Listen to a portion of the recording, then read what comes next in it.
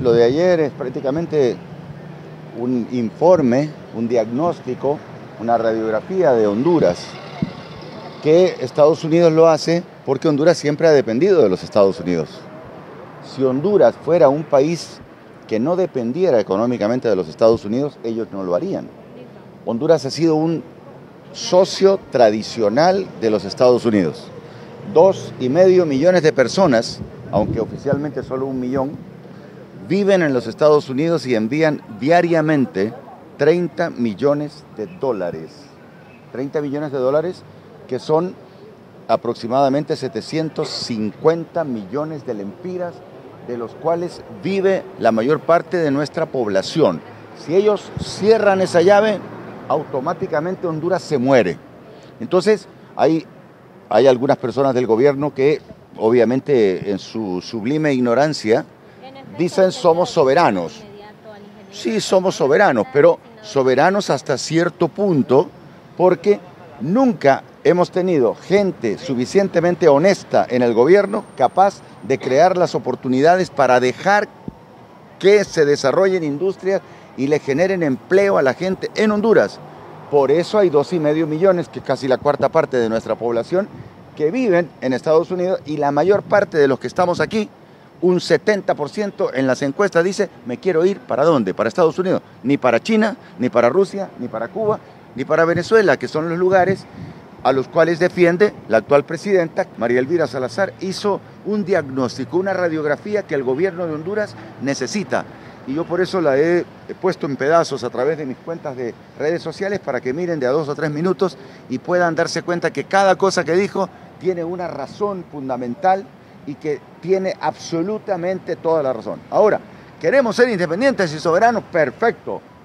Permitamos la inversión nacional e internacional, produzcamos primero nuestros granos para ser autosuficientes y decir, ok, no entra nadie más, nosotros nos abastecemos, solo tenemos la comida. Si nosotros tenemos todo para poder vivir bien, entonces podemos darnos el lujo de coquetear con China, por ejemplo. ¿A cuánto queda China? Si yo quiero ir a China y salgo ahorita del aeropuerto, llego dentro de 36 horas, más el cambio de hora. Si quiero ir a Rusia, salgo ahorita, demoro 24 horas. ¿Quién en Honduras está dispuesto a viajar por tierra a China o a Rusia? ¿Quién? En cambio, a Estados Unidos la gente se va caminando. Entonces son diferencias muy notables de lo que la gente tiene que entender, de qué le sirve al hondureño que ellos hagan relación con China. China al final termina apoderándose de los bienes nacionales. Actualmente se hizo dueño China de todo lo que tiene que ver con la energía eléctrica de Perú. Perú, que es un país mil veces más rico que Honduras, un país que ha tenido plata, un país realmente grande y rico.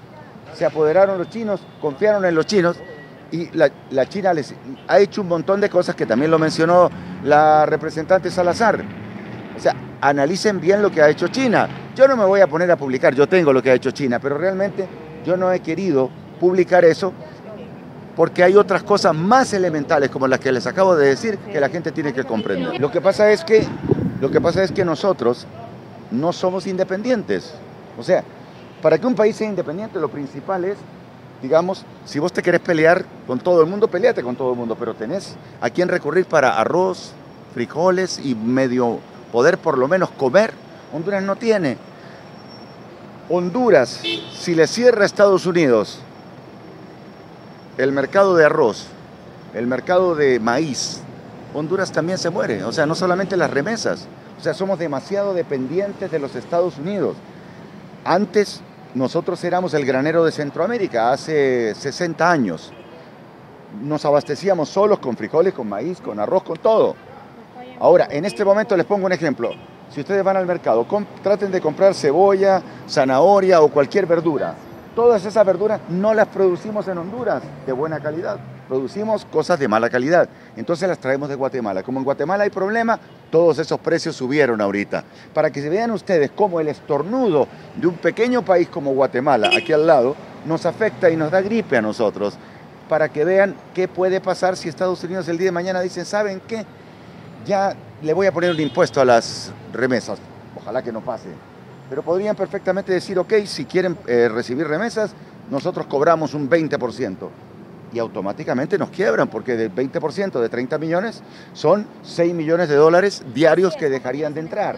Entonces hay que entender cuáles son las consecuencias de estas irracionales medidas que está tomando Xiomara Castro por instrucciones de Mel Zelaya para llevarnos a un comunismo